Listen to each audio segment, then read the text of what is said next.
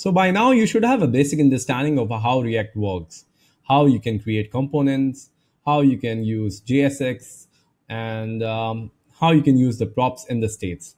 L- let's now use uh, what we have learned and try and create uh, a part of the application. Means let's just um, try and use our existing knowledge and create something out of it.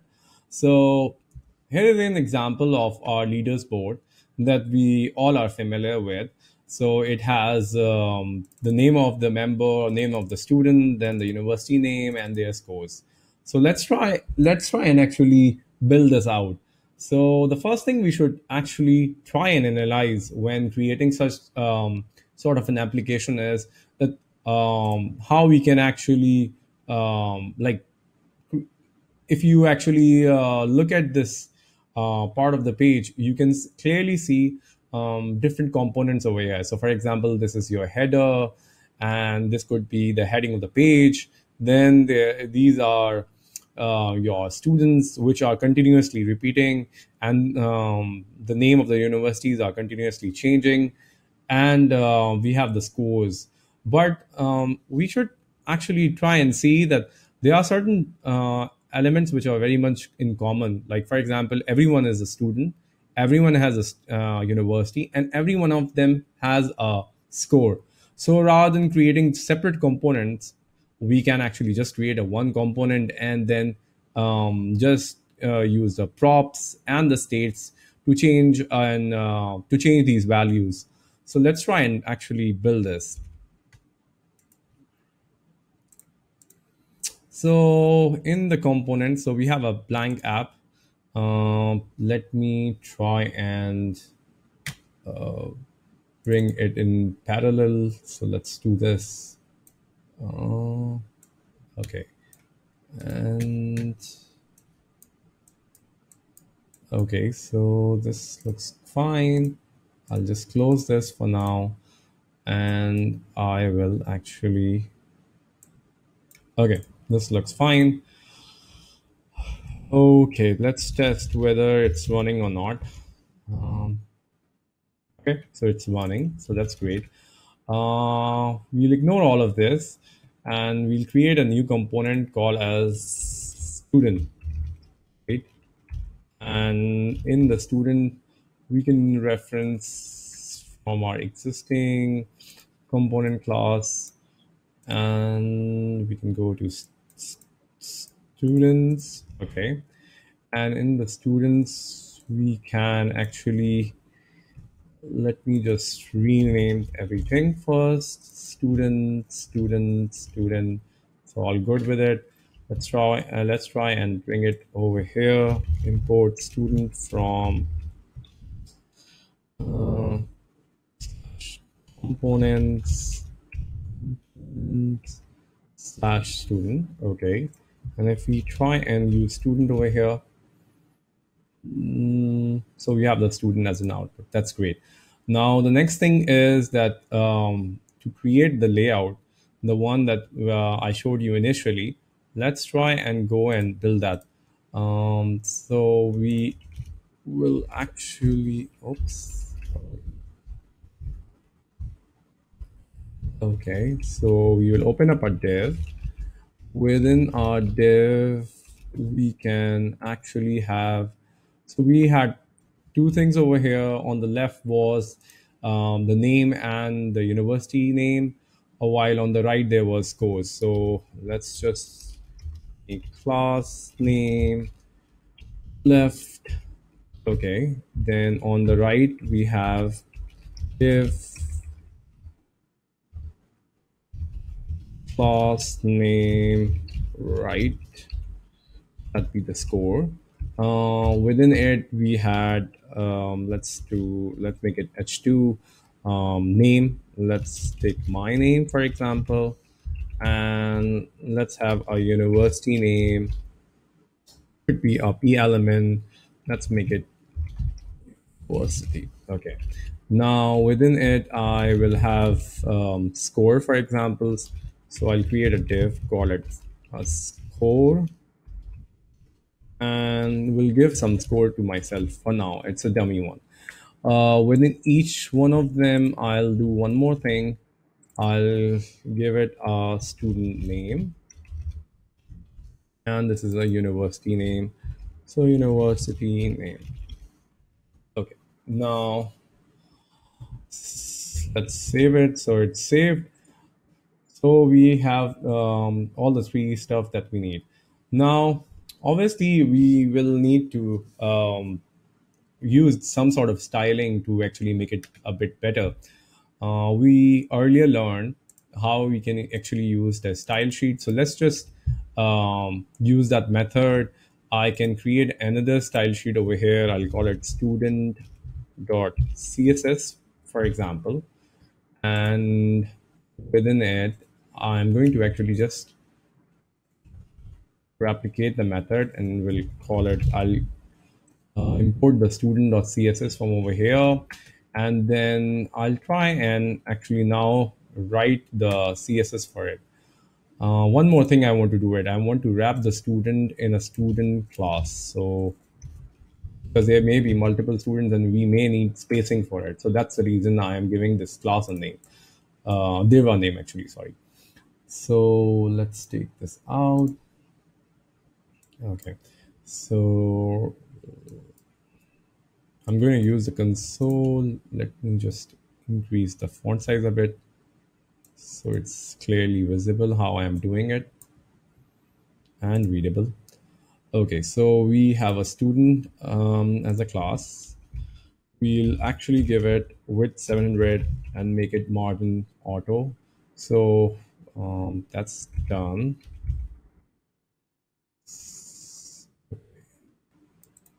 Uh, and then on the left hand side, I'm going to make it 60% and we'll vertically align middle. Okay.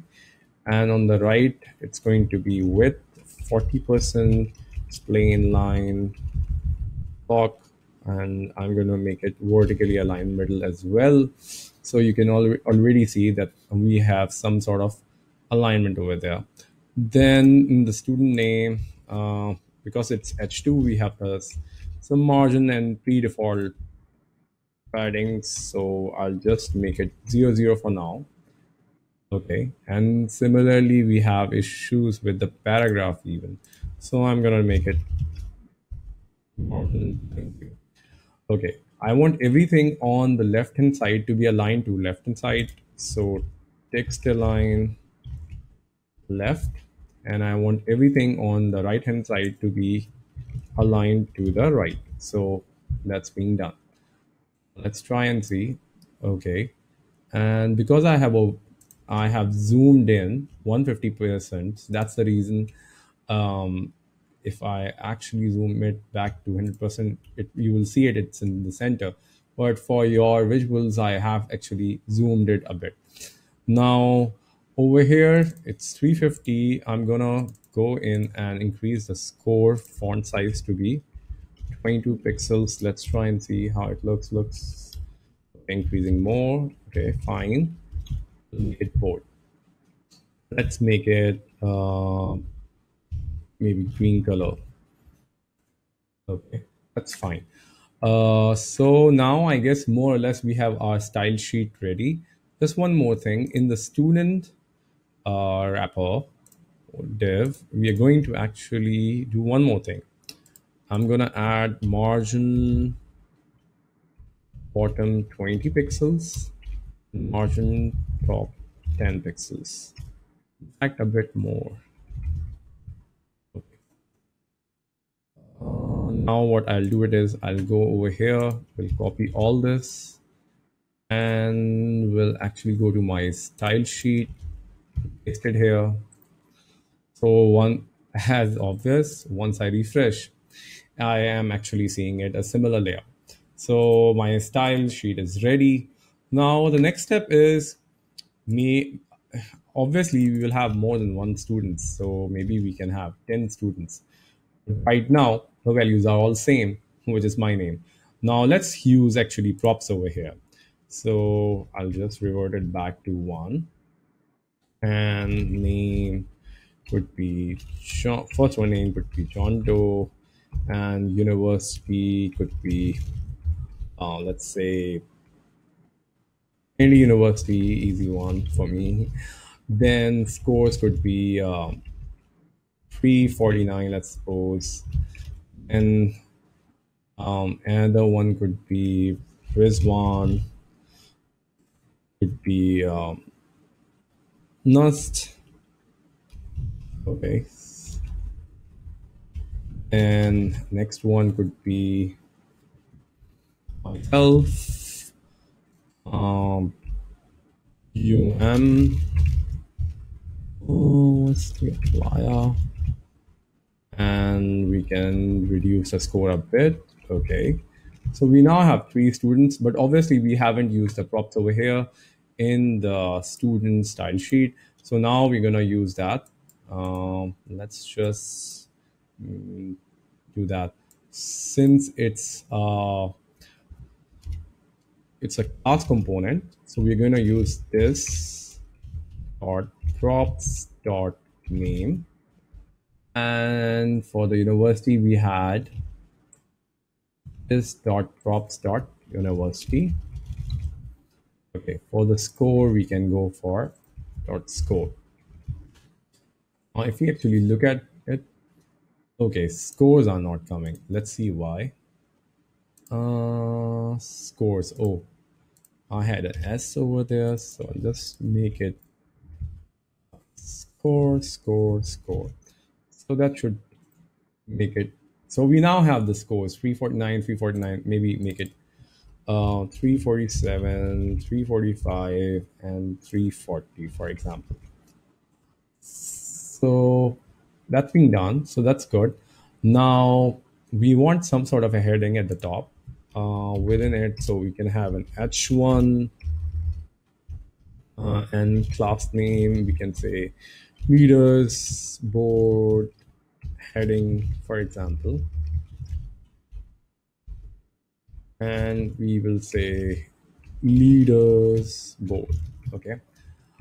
Now, obviously, the heading will appear over here, but since uh, or we can do one more thing. We can just go to app.css otherwise i was thinking to import the style sheet dot uh, student.css over here. But anyways the better is to actually use the style sheet which is present. Uh, but it doesn't look that bad. Um, so we can actually uh, if we want to we can do that. But i think it's more or less fine. So let's just keep it like that. It's fine. It's good.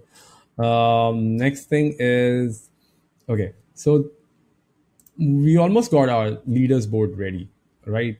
Um, then maybe, maybe, uh, what about having um, like giving admin some rights? So, for example, this could be your view, or that this could be the student view that they're just uh, reviewing the scores. But at the back end, maybe admin have more rights. Like there could be a plus button, which when they click, and if the score actually crosses 350 then uh, this one over here says success. And maybe in a similar way, the admin want to decrease the score for ABC reason, so whatever reason.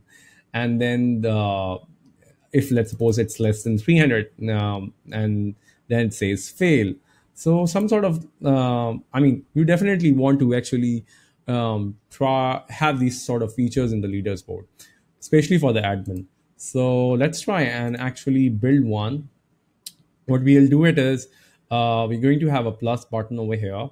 And in the plus when we'll actually click the plus button and when the score will increase. And when the score will increase if it crosses 350 i'm going to i'm going to have a success written over here. So let's see how we can do that.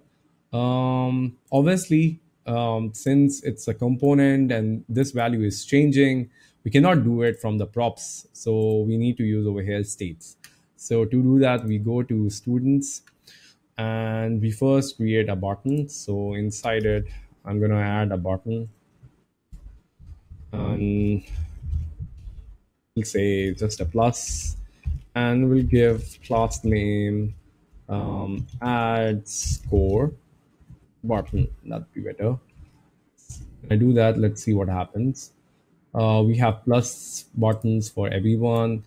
Um, we're gonna actually now apply some CSS to it.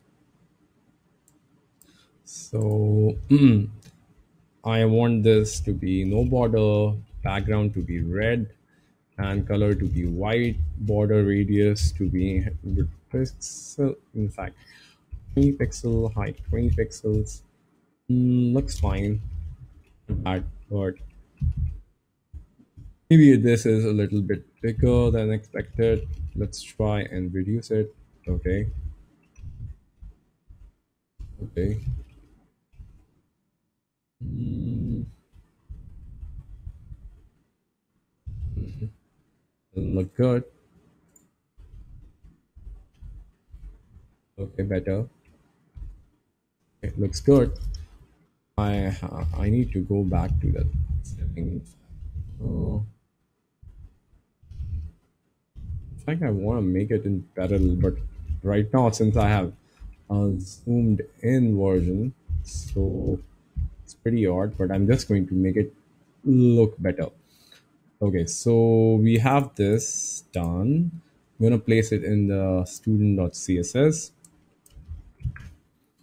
So this is done. When I click right now over here, nothing happens. I'm going to have a cursor pointer. now, okay, so cursor is changing. If you want to have um, add some hover effect, so you can background. Um, I want to change it to black or maybe green color. Okay, it's changing. It's changing. Great. Now, uh, when I uh, press this button, nothing happens, but I want the score to increase. So now we'll go into the students component and we will obviously uh, write a function which will on click we are going to create an arrow function and within it this dot um, add score. So we do that. And we create a function over here add score. So this is good. But obviously um, to change um, this properties value uh, obviously we cannot uh, modify the properties value i mean to say. So we will need to use over here the state. So let's try and create a constructor first. Mhm. so okay. Then super then this dot state object score. We initialize i'll show you some errors in fact. Uh, that'd be better. So this dot props dot so normal scenario would be like i want to use it this way. This dot props dot um, score that is what's coming right? Initialize it with that value. And change it over here to this dot state dot score which is referring to this one. Now if i do that let's see what happens cannot read the property score of undefined. Yeah so basically uh, it's moreover the rendering issues means um, props value let's suppose comes later or something like that actually. So we need to use over here the life cycles.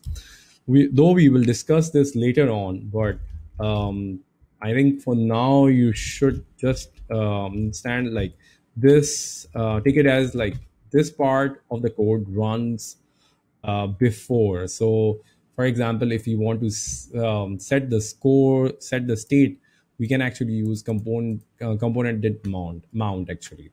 So we'll initialize it with the zero, and over here we'll first. So as the page loads, what it will do it is it's going to set the state over here it's not that complex it's just uh, for example we, if we want to set the um, scores via via some api so we're going to write the api code over here and we're going to fetch that and set the state value so it's something like that so now we will actually have score this dot props dot um, score okay once we do that and we go back to here, it's all perfect. So the scores are coming. So our problem is solved.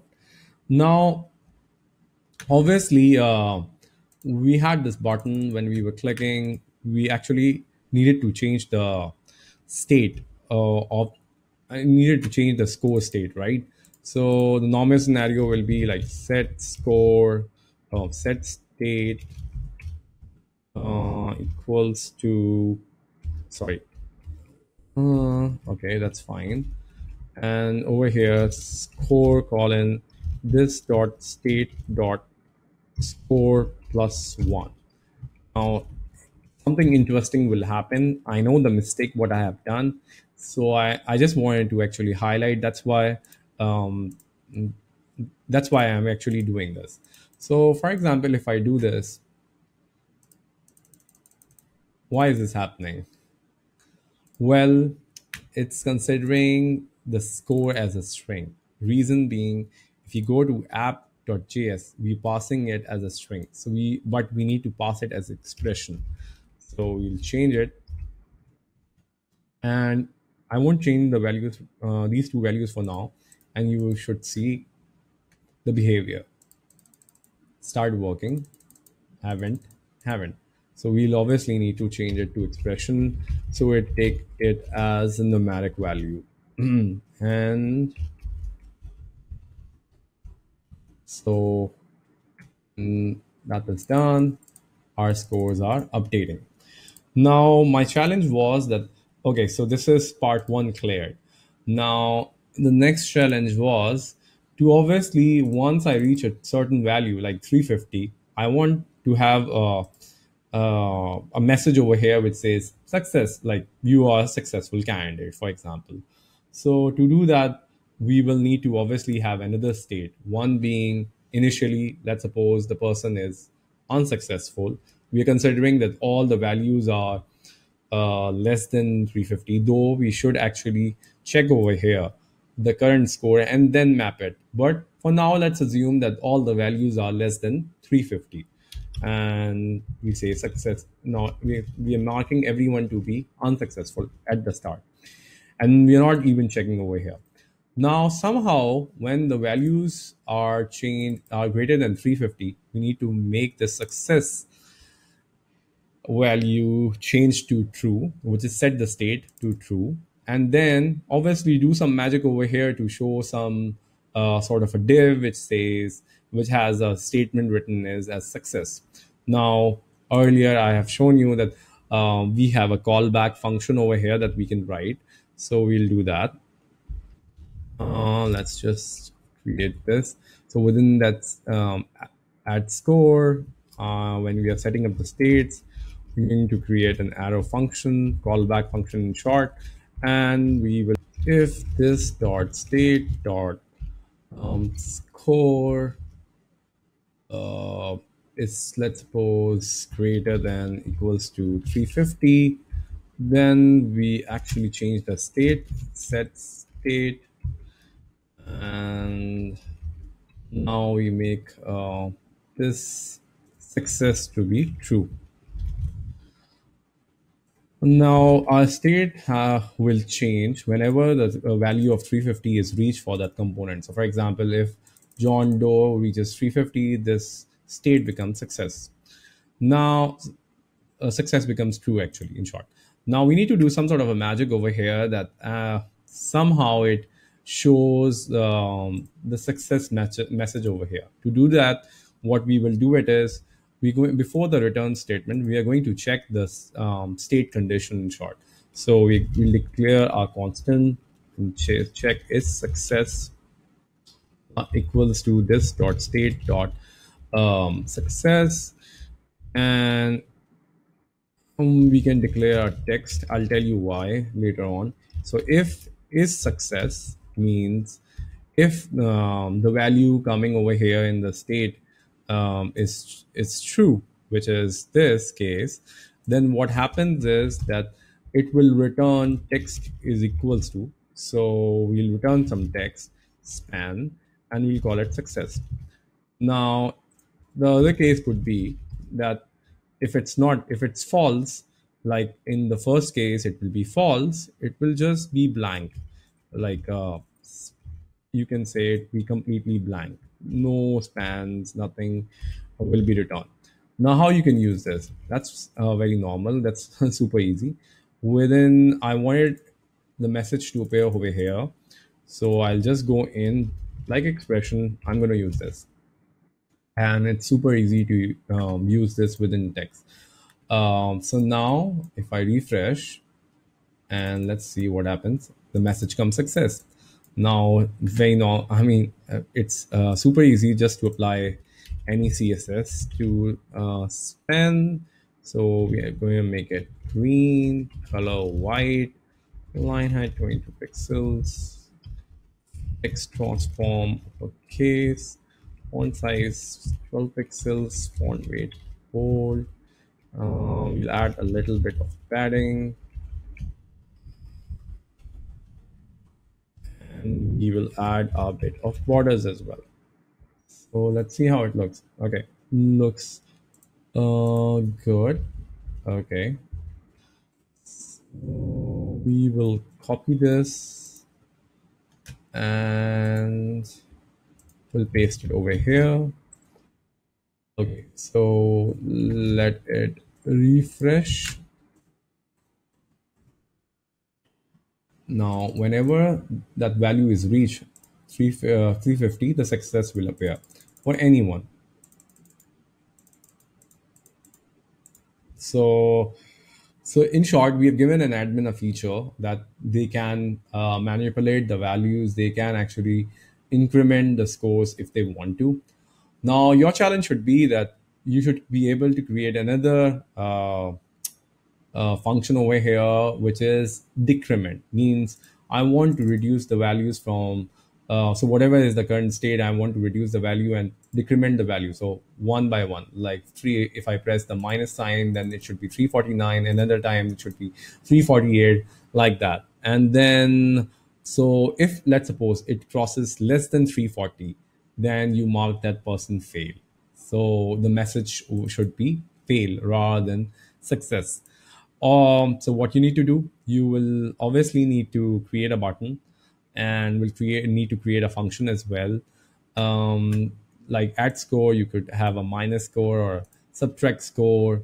Um, so over here, um, we have this success as a false. You can have over here failure as a false initially, and then obviously render the messages um, in whatever way you want to do it. But I'm sure this is um, doable and as per your and as per what you have learned.